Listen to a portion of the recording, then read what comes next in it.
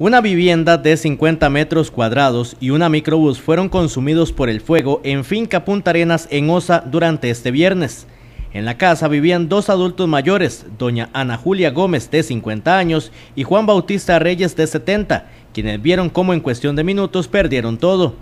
Según las primeras versiones acerca de las causas del incendio, sería que la pareja salió de la vivienda a realizar algunos trabajos, dejando unos frijoles cocinando en un fogón de leña.